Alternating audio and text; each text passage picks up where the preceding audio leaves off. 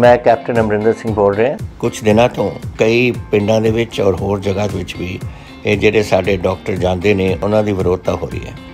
ਦੇਖੋ, ਜਦੋਂ ਜਾਣਾ ਚਾਹੀਦਾ ਡਾਕਟਰਾਂ ਕੋਲ, ਜਦੋਂ ਟੈਸਟ ਤੁਹਾਨੂੰ ਦੱਸੂਗਾ ਕਿ ਤੁਹਾਨੂੰ ਬਿਮਾਰੀ ਹੈ ਜਾਂ ਨਹੀਂ, ਕੋਈ ਨਹੀਂ ਜਾ ਰਿਹਾ, ਕਿਉਂਕਿ ਕੋਈ ਟੈਸਟ ਨਹੀਂ ਕਰਾ ਰਿਹਾ। ਕਹਿ ਕੇ ਕਿ ਇਹ ਤਾਂ ਮੌਸਮ ਬਦਲ ਰਿਹਾ ਹੈ ਜਾਂ ਬਾਰਿਸ਼ ਪੈ ਗਈ ਜਾਂ ਮੇਰੀ ਪਿੱਠ ਦੁਖ ਰਹੀ ਹੈ, ਠੀਕ ਹੋ ਜੂ। ਫਿਰ ਜਦੋਂ ਤੁਸੀਂ ਹਸਪੀਟਲ ਦੇ ਜਾਂਦੇ ਉਦੋਂ ਬਿਮਾਰੀ ਵਧੀ ਹੁੰਦੀ ਹੈ, ਫਿਰ ਕਾਬੂ 'ਚ ਨਹੀਂ ਆਉਂਦੀ। ਜਿਨ੍ਹਾਂ ਨੂੰ ਥੋੜਾ ਜਿਹਾ ਪੋਜ਼ਿਟਿਵ ਵੀ ਹੋ ਜਾਓ ਤੁਸੀਂ ਪਹਿਲੀ, ਪਹਿਲੇ ਟੈਸਟ ਦੇ ਵਿੱਚ। ਤੁਹਾਨੂੰ ਹਸਪੀਟਲ ਨਹੀਂ ਲੈ ਕੇ ਜਾਣਗੇ, ਤੁਹਾਨੂੰ ਘਰ ਭੇਜ ਦੇਣਗੇ ਕਿ ਤੁਸੀਂ ਘਰ ਜਾ ਕੇ ਰੈਸਟ ਕਰੋ ਔਰ ਆਹ ਦਵਾਈਆਂ ਨੇ, ਇਹ ਦਵਾਈਆਂ ਤੁਸੀਂ ਜਾ ਕੇ ਖਾਓ।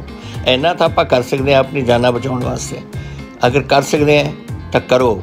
ਇਹ ਆਪਣਾ ਫਰਜ਼ ਬਣਦਾ ਹੈ ਆਪਣੇ ਪੰਜਾਬ ਨੂੰ ਔਰ ਆਪਣੇ ਬੱਚਿਆਂ ਨੂੰ ਔਰ ਆਪਣੇ ਦੋਸਤਾਂ ਨੂੰ, ਗੁਆਂਢੀਆਂ ਨੂੰ ਕਿ ਅਸੀਂ ਉਹਨਾਂ ਦੇ ਲਈ ਇਹ ਕਰੀਏ। ਪੰਜਾਬ ਸਰਕਾਰ ਵੱਲੋਂ ਜਨਹਿਤ ਵਿੱਚ ਜਾਰੀ।